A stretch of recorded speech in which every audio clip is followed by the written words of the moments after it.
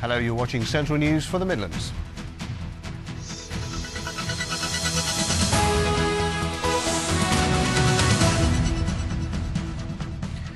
Good afternoon.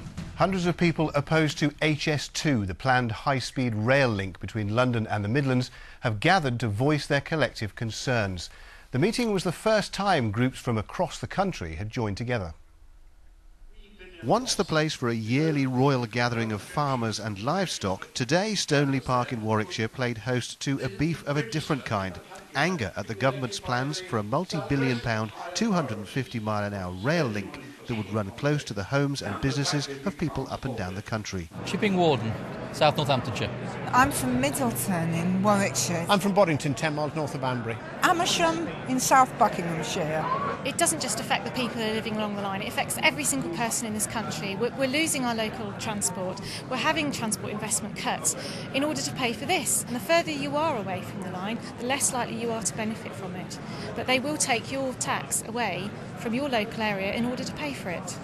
There's been massive opposition to the plans ever since they were announced two years ago. But this week, Greengauge 21, a group set up to promote the case for HS2, said that, amongst other things, the line would mean twice as many direct services from Wolverhampton to London, Walsall could have a direct service to London every hour, and there would be more frequent commuter services into London and Birmingham. That doesn't wash, though, with transport expert and author Christian Wolmar.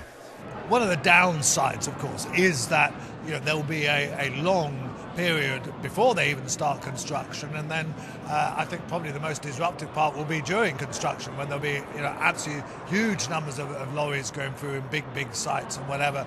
But I think more important than that is that the long-term effect of this. I, I, I don't think that there is a green case for it at all. Certainly not to justify the, the large amount of environmental damage that it will cause.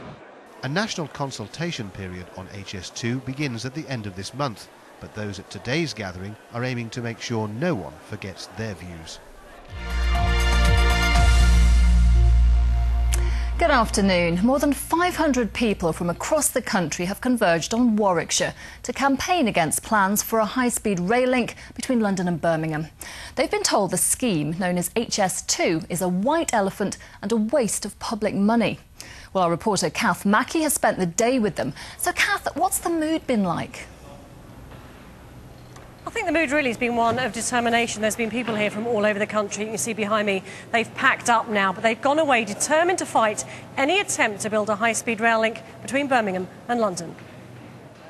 A white elephant lumbered along, a visual metaphor for the high speed rail link, according to the hundreds of protesters who turned up at Stoneleigh in Warwickshire. We must invest in the future, not in the past. They came from all over the country. Many will be directly affected if the line between Birmingham and London is built. The railway will be two to three hundred metres from our house. We live about 500 metres away from the line. The noise impact will be awful, and um, I don't believe that it should be done. Fending off accusations of NIMBYism, the protesters say HS2 simply isn't in the national interest. The idea of HS2 is that we spend uh, 18 billion pounds to get to Birmingham 11 minutes quicker. That is not going to transform the economy. All this is doing is enabling a few very wealthy people to travel slightly faster. They're a vocal lot, but so too is the pro lobby, who are on the offensive. Having something like High Speed 2 will encourage inward investment. It will encourage new clusters of jobs. It will encourage things away from the southeast. It will encourage employment in the area. New skills will arrive in the area. It will help build the whole economy. And we all benefit from that. But the protesters say it's they who have the best case and they're confident they'll win. Well, the consultation process starts at the end of the month. It goes on for six months. Now, if the protesters lose, and I have to say they're convinced they're going to win this, but if they do lose, we could have a high speed rail link between Birmingham and London by the mid 2020s. Jackie. Kath, thank you very much. And tomorrow's politics show will have a studio debate on this issue with the arguments for and against. That's at midday on BBC One.